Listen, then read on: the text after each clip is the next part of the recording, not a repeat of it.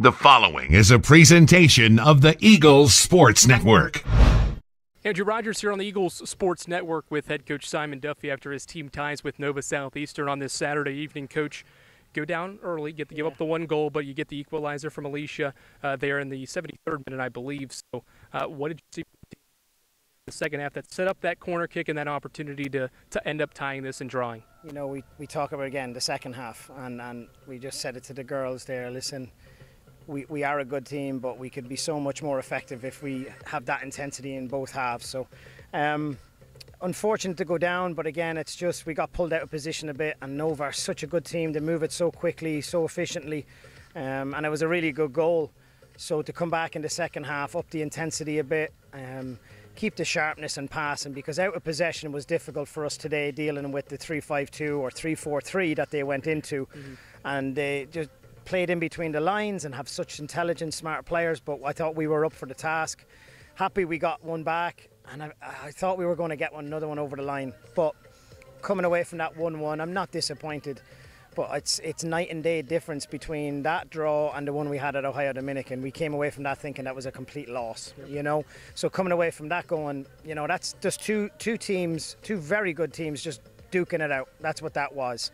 So I think it was probably might be an, an even result or a fair result in the end. All six goals this season have been scored in the second half. So, and you mentioned the intensity. Is there something else that you see that's different? I mean, Addy had an opportunity yeah. there at the penalty kick early on yeah. uh, that definitely could have gone your way. But what have you seen that's been different besides that intensity? How can you enforce that same effort, same offensive attack in first halves? I don't know. Uh, let me know if you do, if you figure it out. No, it's I don't. Again, you asked me before about the hardest thing is putting the ball in the back of the net. We we scored that penalty after five minutes. The tempo, the the you know the whole shape of the game changes. But that's football. It doesn't. It just yeah. It doesn't go that way all the time. So.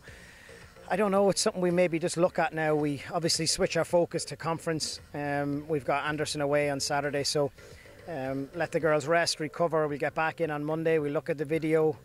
Um, we'll have, we'll push them good on Monday, and then from Tuesday on we'll focus on Anderson. But one of the things, Andrew, we're going to address is, hey, can we can we match our second half performances in the last two games, Nova and Young Harris? Our second half performances, I thought, were excellent and worthy of winning a game. Can we do that for 90? Because I, I think if we do, Andrew, there's not going to be many teams that can that can hang with us, you know. We always talk about the offense, but the defense yeah. has kept you guys in these games. They give up the early goal, yeah. uh, but they respond for the next yeah. 60 minutes or so to keep you in it and then allow you to tie it. So what have you seen from that back line, Yenta, Alicia? What have they done, MJ? What have they all done to not only keep those put clean sheets together? How important has that been to help the offense kind of stay with it when it may not be there all the time? Massive. And, and another thing for us today was to try and keep a clean sheet. Obviously we didn't, but the the response after giving up the goal was was excellent because it, it's, it's funny how the tables turn. We get a penalty, you think, all right, we're going to go up one 0 It doesn't happen, and then we concede a goal. It's so it's so difficult. So to be able to keep that focus and stay locked in for the rest of the game is excellent. And th- the whole back four. Um, you know, obviously we've added Abby Zander there this year, and she, I think she she's honestly been one of the most consistent players we've had. But mm-hmm. whether it's Noel either coming in or AC coming in or Elena, um, or MJ, they've just done a, a really quality job back there, and I, we can't forget Laura behind them. I thought she was really good today, very mm-hmm. calm under pressure, and did a really good job. Kicking was good, decision making was good as well. Best of luck as conference play gets going. He's Simon Duffy. I'm Andrew Rogers for the Eagle Sports Network.